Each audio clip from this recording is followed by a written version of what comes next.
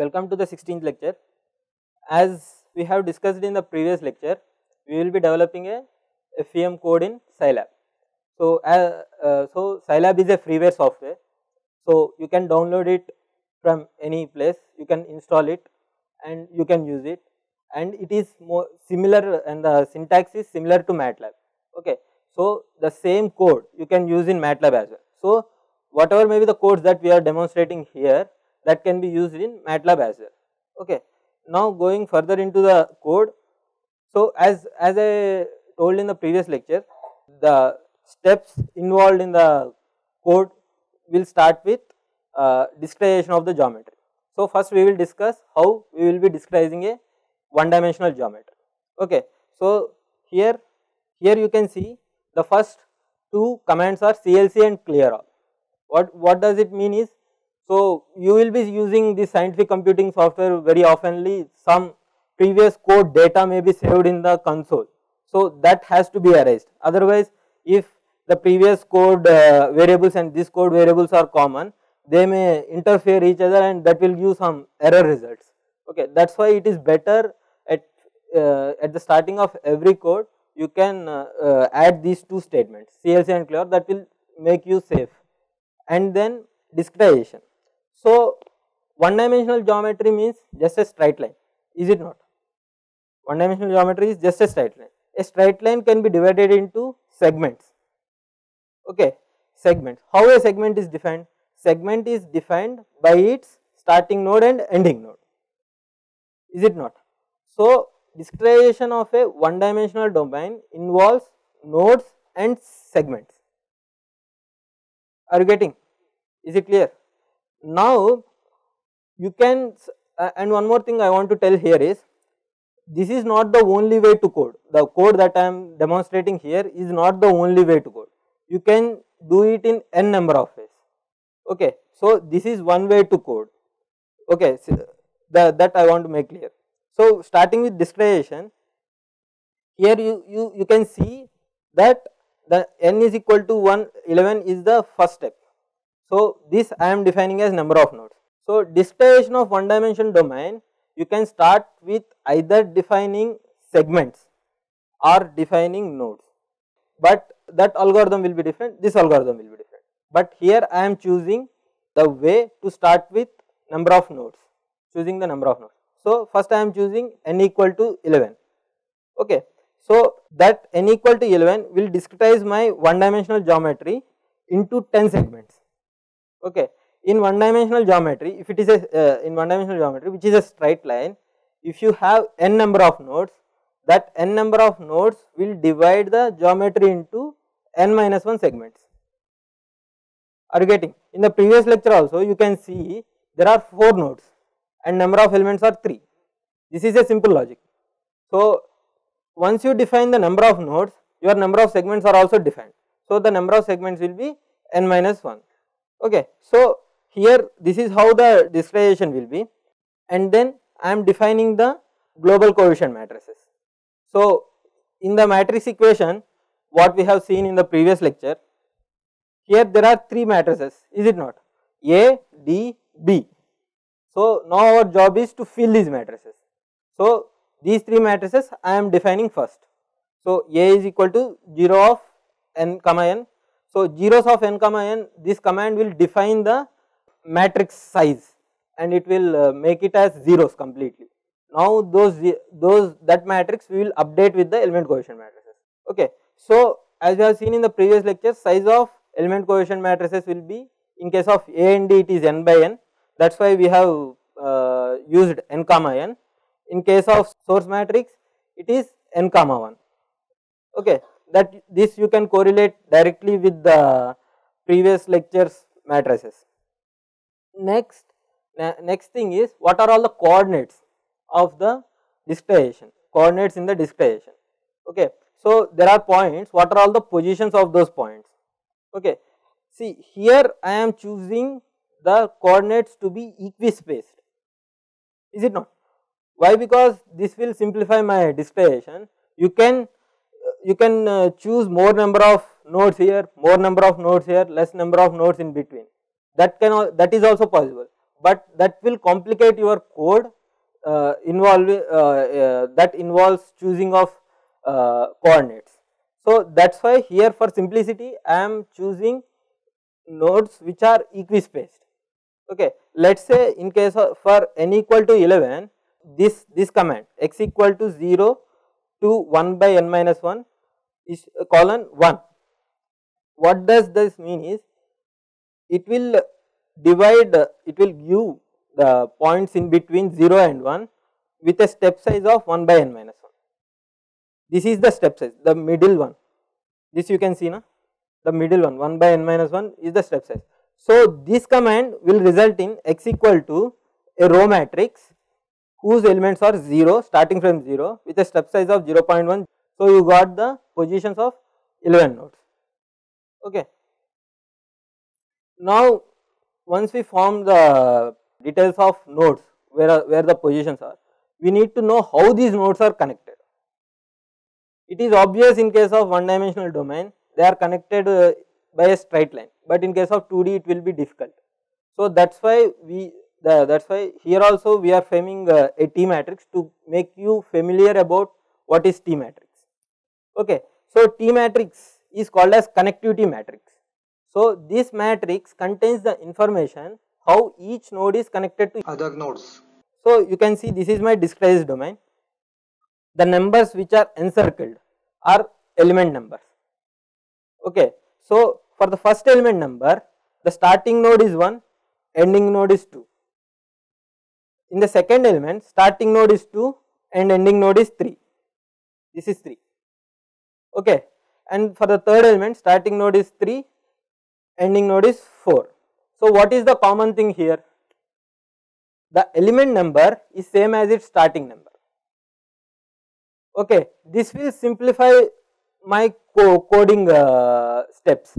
Okay. So, for each and every element I am assigning its starting number and ending number and ending number is plus 1 of its element number. So, that is what we have seen here. Na?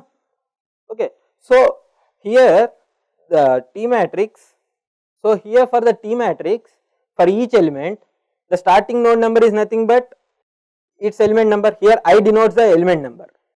Okay starting node number is element number and ending node number is 1 plus its element number. So, with this for loop for every i, i means element number for every i we will get starting node number in the first row and first row. Okay. I, I hope you are familiar with the matrices uh, indication in case of Scilab and MATLAB which is same in both the cases. Okay. So, the first index is row number, second index is column number. So, i is going to the column number that means element number is nothing but column number and first row will have starting row number and second row will have ending node number. Ending node number is 1 plus element number. Is it clear up to here? Now, how this matrix is a connectivity matrix, where the connectivity information is involved in this matrix. So, you can see in this matrix, so if you run this for loop, if you run this for loop, we will get this T matrix as this form where the column numbers are element numbers and first row is uh, starting node number and second row is ending node number. So, the entries in this T matrix are 1 2, 2 3, 3 4, 4 5 is it not. Now, by looking at this we can know the connectivity is it not how. So, the ending node of first element is nothing but the starting node of second element. So, through second node first element and second element are connected. Similarly, through third node second element and third element are connected. Similarly, through fourth node third element and, and so on. So, such information is involved here and this T matrix is very important that in formation of element coefficient matrix and in form eh, in converting element coefficient matrix to global coefficient matrix we will be using this very often. Okay. So, we need to know each and every part of this connectivity matrix. And one more thing I want to highlight is, so here the first row indicates the local node number 1, okay, and second row indicates the local node number 2. That means for element 1, local node number 1 is 1 and global node, local node number 2 is 2. Similarly, for element 2, local node number is 2, local node number 1 is 2 and local uh, node number 2 is 3. Are you getting? So, first row of T matrix indicates the local indicates the elements local node number first local node number of each element. Second row of T matrix indicates the second local node of all elements. Okay, it is clear now up to here. So, we have completed the discretization part which is the first step. Now, the second step is formation of local coefficient matrices. Okay. So, in the previous lecture also we have seen local coefficient of matrix of every element is calculated individually. Okay. And since there, there are only 3 matrices, we have we wrote it side by side, is it not? Let us say we have 100, 100, 100 elements, then we will get 100 local coefficient matrices, is it not? So, that means what? In case of code, you need to define 100 variables to store those 100 matrices, which is very difficult and you cannot make the code generalized also, is it not? If suddenly I want to use 1000 matrices, I have to change my complete code for 1000 uh, variables, which is very difficult task, is it not? So, that is why here there is uh, you, you know matrices with rows and columns, you know matrices with only rows, you know matrices with only columns. But in both Scilab and MATLAB, we can define 3 dimensional matrices. Are you getting? We, we can define 3 dimensional matrices. That means n number of 2 by 2 matrices, n number of rows by column matrices, we can stack them one after the other in a single variable. Okay, that is how we can uh, we can store all the element coefficient matrices in a single variable uh, even though if you change the number of elements. Okay, and this logic is same in case of 1D, 2D as well. So, in the 2 dimensional eh, in the code of 2D also we can see the same uh, uh, uh, same 3 dimensional matrix okay? And the 3 dimensional matrix will look like this okay? This is the 3 dimensional matrix. So, element 1 the local coefficient matrix of element 1 will be stored like this. And uh, after that element 1 matrix element 2 matrix will be stored. After that element 3 matrix will be like that all the matrices will be stacked like this. Now going further so now we will see how these element coefficient matrices are formed and how they are stored. So we have seen in the previous lecture the formula for element coefficient matrix is this is not we have seen in the previous lecture only. So it is 1 by L 1 minus 1 minus 1 1. So by looking at this what are all the common things we have that we have to identify first. That identification of such things will make your coding simpler. Okay. So, here what are common things? Diagonal elements are just 1 by L and off diagonal elements are just minus 1 by L. Is it not? So, here what here this complete thing is constant only thing you need to calculate is L for each segment. Since here we have chosen the equispaced discretization, this L is also constant. But if you change your discretization for non-equispaced thing, then this L will be a variable. So, to be more general, I have used this as variable only. Okay, this will be calculated automatically for every element. Now, we need to get the geometrical details of the corresponding element. So, here geometrical details means nothing but coordinates only, is it not? Geometrical details means nothing but coordinates only. So, I have to get uh, x coordinates of two nodes of each element. Okay. So, for the first element, for element equal to 1, local node number uh, 1 is 1 and local node number 2 is 2 that we have seen in the T matrix explanation. This you have to be very much clear. See here local node number 1 is 1 first row indicates the local node number second row indicates the local node number 2 so local node number 1 is 1 local node number 2 is 2 in case of element 1 in case so here t of 1 comma element will give 1 here this t of 1 comma element will be 1 and t of 2 comma element will be 2 for in case of first element. So, x of 1 is nothing but 0, x of 2 will be 0.1. Okay. So, these two lines of code will give like this for different elements. We are getting the coordinates of each and every node inside the element using the connectivity matrix information. Okay. So, connectivity matrix information will give you global node number of uh, each local node. Are you getting? That will give me the coordinates and then I am calculating length using ABS xn of 2 minus xn of 1. See this ABS is absolute value. See here my second node is greater than my first node. This will give me positive value only. If someone start naming the nodes in element from higher node to lower node like if I choose my starting node as 2 and ending node as 1 this will go to negative is it not. To avoid that problem I have used ABS. So, this will give me always a positive value because length should be positive is not it. Okay.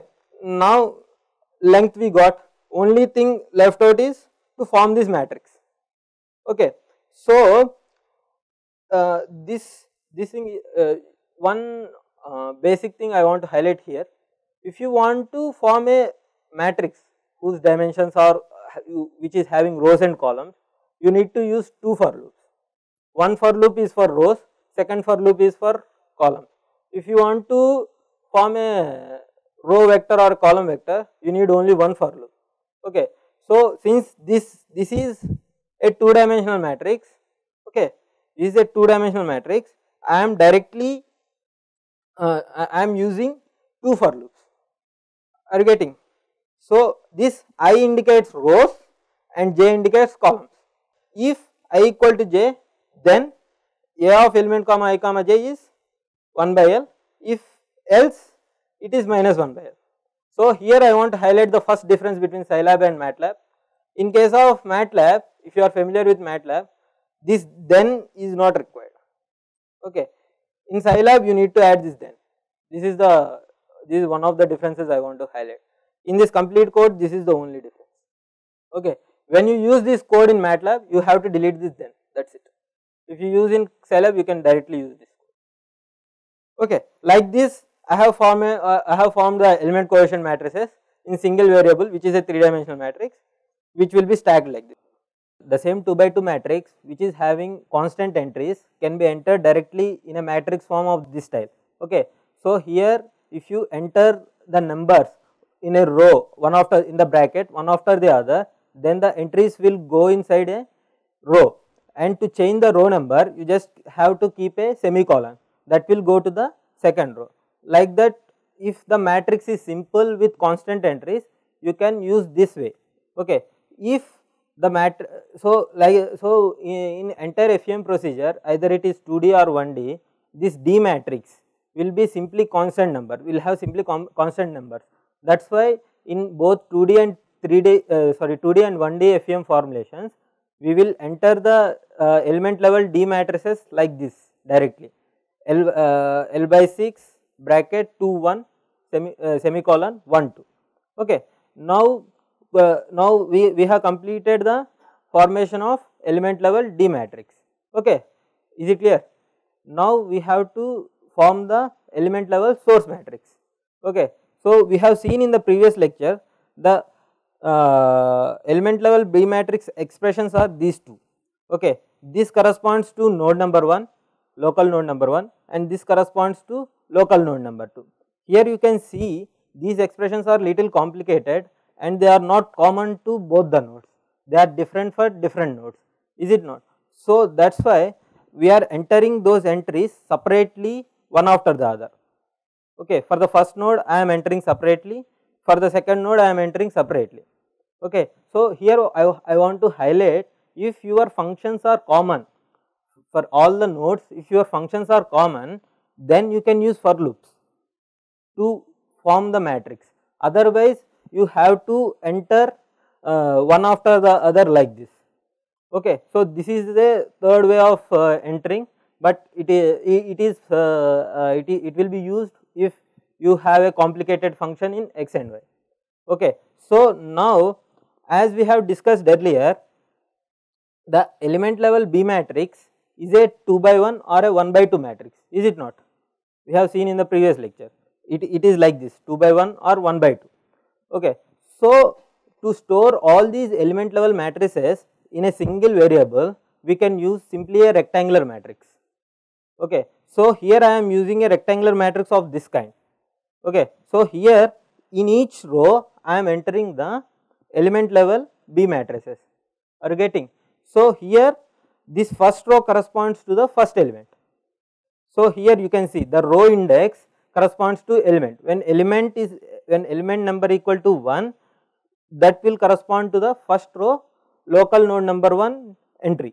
When element number 2 when, when element number is equal to 2 that will correspond to the uh, local node number 1 entry for element 2 that will go in the second row. So, like this we will completely enter the B matrix information in a single matrix. This is simply a uh, rectangular matrix. Is this clear up to here? So, here you can see the first row corresponds to uh, the first row corresponds to first element. Here this is the element index. Second row corresponds to second element. Third row corresponds to third element. And this first column corresponds to first local node and second row corresponds to second local node. Like this we will enter the uh, B matrix. Okay.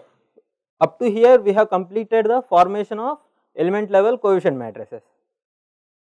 Okay. So, we have completed the second step. I hope this is under, uh, up to here it is clear. Now, we will form in now we will go to the third step which is formation of global coefficient matrix using element coefficient matrices. Okay. So, actually he uh, till now we have n minus 1 element level coefficient matrices. We have to combine all the element coefficient matrices into a single global coefficient matrix. Is it not? So, that we will see now how we will do. So, here we are forming the global global level matrix using the connectivity matrix. Okay. So, here we will use the connectivity matrix information to do that. Okay. So, I will just recap what is the connectivity matrix. Here uh, the first row of the connectivity matrix is co corresponds to the local node number 1 and second row of the connectivity matrix correspond to the local node number 2. It is clear na? Now, for each and every element as I was told earlier every operation in FEM we will do element wise. So, we will start with for element 1 to n minus 1 okay for element 1 to n minus 1 we are taking the global node numbers of each element global node numbers in each element okay. So, here the size of nodes is in this case it will be 2 by 1 first row corresponds as I have told earlier, first row corresponds to uh, local node number 1, second row corresponds to local node number 2. So, the nodes matrix, the entries of the nodes matrix in case of element 1 will be 1 2, in case of element 2 it will be simply 2 3. What does it mean is uh, the local node number 1 of element 2 is 1, local node number 2 of element 2 is 2. For element 1 it may be confusing so, I will repeat the same thing for element 2. The local node number 1 of element 2 is 2, local node number 2 of element 2 is 3. Okay, this you have to understand. Next, what is the logic that we are using here is the information already we have defined the global coefficient matrices is it not A, D, B if you see in the first slide very first slide we have already defined the 3 matrices. Now we have to update these 3 matrices with the entries of element coefficient matrices. Element coefficient matrices also we have formed. Okay. So, we know the corresponding global node numbers of each local node. So, we will take the entries corresponding to each elemental matrix and we will update the update it in the global matrix corresponding position in the global matrix. Okay. Since our element coefficient matrices are 2 by 2 matrices and 2 dimensional matrices, we are using 2 for loops. Okay. And this is a 2 by 2 matrix which has uh, 2 rows and 2 columns. Here we are running from i equal to 1 to 2 and j equal to 1 to 2. Okay. For i equal to 1 to 2 and for j equal to 1 to 2. If it is a 2 dimensional FEM analysis which has triangular elements whose nodes are 3, then it will go from 1 to 3 and 1 to 3 okay that we will see later. Now for this A matrix what does it written here? A of nodes i comma nodes j is getting updated with. See here in the right hand side and in the uh, left hand side and the right hand side if we have the same thing and we are adding it with some other number that means we are updating it. Are you getting? Here we are just writing x equal to x plus some x1 okay here this is these two are same is it not? We are just adding this number with another number and we are keeping that same number in x. That means we are updating. So here this statement means the this statement means we are updating the position of nodes i comma nodes j with this number. Okay are getting? So what does this do? That i will explain here for element 1 it will be very a bit confusing. So i will explain it for element 2 for element 2 let us say this all code started from here. So, in the first loop let us say we have taken for element 2 okay. For element 2 what are all the nodes?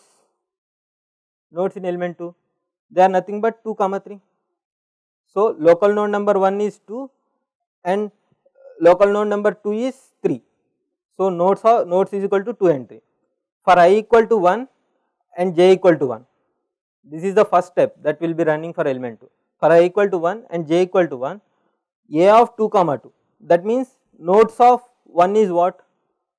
Nodes of i, i is here 1. Nodes of 1 is 2. Nodes of j is also 2. So 2 comma 2 position of a is getting updated with second element 1 comma 1 position.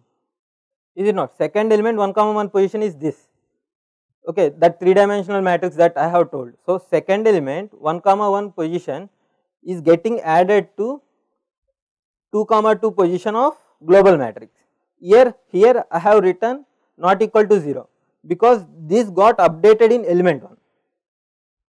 Okay. Now, we will go to element 1 this this is clear now what we have done here. Okay. So, we are just so we know the global coordinates we know the local coordinates, we, we know the we have the local entries. We are updating the global positions, positions in the global uh, coefficient matrix with the corresponding local uh, matrix entries. Okay. Now for i equal to 1 and j equal to 2. Okay. Nodes of i is what? 2. Nodes of j is 3 for i equal to 1 and j equal to 2 the second step are you getting? So, no, nodes of i is 2 and nodes of j is 3.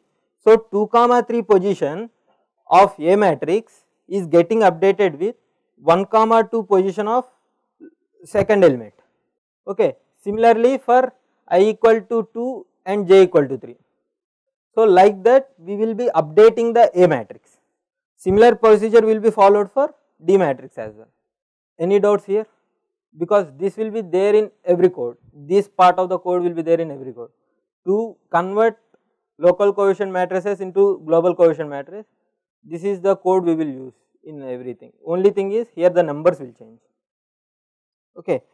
So, here we have converted A and D matrices from local coefficient matrix to global coefficient matrix. Now, we will see it for uh, B matrix. Okay. So, element level B matrix will be like this. Okay. For element 2, similarly we will see it for element 2. For element 2, nodes will be 2 comma 3. Okay. For i equal to 1, are getting? For i equal to 1, we are at node 1, element element level, uh, sorry, uh, local node 1. So, local node 1 of B matrix, B of 2 comma 1. See, here 2 represents element. So, 2 the position of element 2 it will go to the position of element 2 and chooses the uh, entry corresponds to node 1 and it will add it and it will update it to global entry 2 because global node number is 2 is it clear? So here the complexity has reduced to 1 because this is a one dimensional matrix this is a two dimensional matrix that's why here here we have only i here we have i and j Similarly, for i equal to 2, for i equal to 2 global node number is 3. So, third position in the global matrix is getting updated with second with the entry of second node in element 2. Okay, are getting? So, global position of 3. So, here local node number 2 is 3. Okay, global global node number is 3. So, third position of global matrix B is getting updated with second entry of element 2. element element 2 data is here. So, second entry means this. So, this will get updated for this. Okay, this is how we will convert the source matrix also. So, this these three these three steps inside these for loops will convert our element level coefficient matrices into global coefficient matrices. Okay. So, once we get the global coefficient matrices, the next step is simplifying the matrices and solving the matrix equation. So, now as we have seen in the previous lecture, we will reduce, we, we got A, AU minus DU is equal to B and we are taking U, taking out U as common that will reduce it to A minus D into U is equal to B and K I am assuming K, K is equal to A minus D. So, I am calculating k equal to a minus d okay and then now I will be solving ku equal to b after imposing boundary conditions. So, in the previous lecture we have seen imposing boundary conditions means we have reduced the size of matrix from 4 by 4 to 2 by 2 is it not. Also those boundary nodes are uh, placed at first node and the last node the which we know but in case of complicated geometries and complicated systems, we do not even know the node numbers for which uh, the boundary conditions will be applied. So, it will be very difficult to do such reduction in matrix size. So, in that case we what we will do is here the for the row that corresponds to the boundary node we will make all the entries as 0 and we will make the diagonal entry as 1 that means we are imposing the boundary condition. See here what is the step that we have followed? For, for the first node and the nth node we are applying boundary condition. So for the first row we are making all the entries as 0, is it not here and then we are keeping its diagonal entry as 1 and we are making its diagonal entry as 1 and as boundary condition is 0 we are we are updating that B matrix entry corresponding to first node as 0. Okay. Similarly for nth row, because nth, nth row corresponds to nth node. So, we are making nth row as completely 0 and we are making its diagonal entry as 1 and we are imposing the boundary condition in the B matrix. Okay. So, this can be visualized with this following example. This example we have seen in the previous lecture, is it not?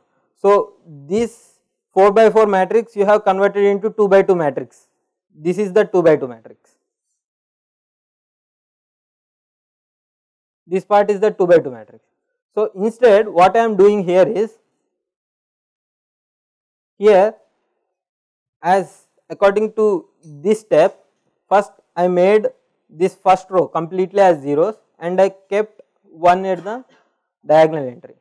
Similarly, for the nth row, I am making complete row as 0 and I am making this diagonal entry as 1. If you solve these equations simultaneously, that means you are solving this equation, the, these 2 by 2 matrix equation. How? So, here there is a typo, this is U4, this is this should be B4, this should be U4. Okay. So, here if you see if you convert if you multiply this matrix with this this will give u1 is equal to 0 and u4 is equal to 0 that means in this system you have you have imposed the required boundary condition here if you want to visualize if you want to correlate this method with the previous method of reducing this you can visualize like this so if you have done uh, some matrix thing gaussian reduction uh, those inverse taking methods so I can add this row to this row. So, I mean R2 row 2 is equal to row 2 plus row 1. If I do that, then what I will get? 1, 0, 0, 0. This minus 1 plus 1 will be 0 and 2 minus 1 0. Okay, and I am making row 3 is equal to row 3 plus row 4. I am updating row 3 also. So, that will be 0 minus 1 2 0 okay and this is nothing but 0 0 0 1 that means these two matter the these set these two equations got independent and this is similar to the matrix that we have seen in the previous lecture okay this is uh, this is how you can visualize this way of imposing boundary condition as similar to the way what we have seen in the previous lecture also I want to make make a note that making the, making the row corresponding to that node as 0 and assigning uh, diagonal entry as 1 this procedure we will follow in the 2D code as well. Okay. So, since here only we have only two nodes we have done separately when we have many number of nodes we will use a for loop for this as well. Okay. Now, we have, we have imposed the boundary conditions also now we are ready to take the inverse. Okay. Now, after taking the inverse so this this inverse is the inverse function is there in all scientific computing softwares like MATLAB and Scilab. So, you can use directly this k backstroke b is equal to u then you plot x versus u you will get the variation as shown in the red color plot. This red color curve which, which is shown corresponds to 1D FEM. Okay, since we have chosen less number of elements only 10 elements you can see that uh, there is an error in between the elements. So, in between the nodes there is an error. Why? Because here we are minimizing the energy at nodes in case of FEM, not over the whole domain. Okay. So, that is why there is a minimum error at the nodes. Okay. Now, I have compared the same thing with exact solution. This blue one is exact solution and this black one is the approximation sol approximated solution with second order approximation which we have seen in the previous lecture. As you know this solution is for the uh, is for the one dimensional PDE phi double dash plus phi plus x equal to 0 with boundary conditions phi equal to 0 at x equal to 0 comma x equal to 1. So, you can see here at 0 and 1 the boundary conditions are imposed perfectly. Okay. And this is the exact solution. This we have seen in the previous lecture. And this is the approximate solution with second order approximation. This also we have seen in the previous lecture. So, in the previous lecture we have seen to improve the accuracy we have we have increased the order of approximation from second order to third order. That made us to redo the complete process again. Okay here so which is which is more complicated calculations compared to second order calculations. Okay the involved mathematics is more compared to second order is it not? So as we as we keep on increasing the order the complexity in calculations will increase. And also it is not a general procedure also. Whereas the code that we have developed here I have shown it for 10 elements. Now in the code I will change it to uh, 100 elements by changing only the first the very first command. This one. Here I will change this to 21 and then 31 and I will not touch any of the steps inside the code. Okay. So what I am what I am trying to say is FEM procedure this kind of coding will be com uh, will be general. Only thing you need to change is discretization. Okay. That I will show now okay this is the Scilab interface and this is the code in Scilab in Scilab interface. So it's okay. The same code what we have seen in the presentation is here. I will be changing only this n number. Previously we have n equal to 11 I am running it for n equal to 11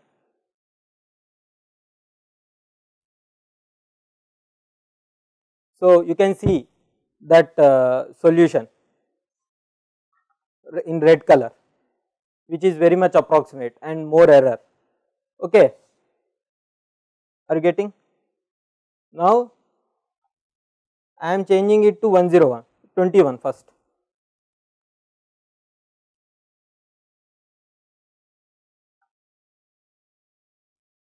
you can see both solutions got overlapped with little error. Now I am improving it to 31.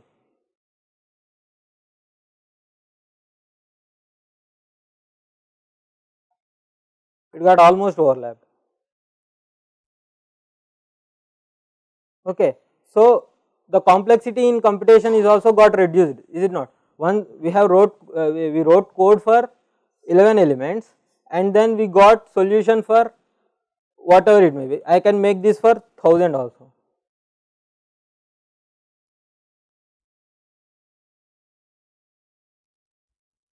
It got overlapped. You can't see that red line. Blue line is overlapping that red line. You can see red line here now. If I very much, if I zoom in too much.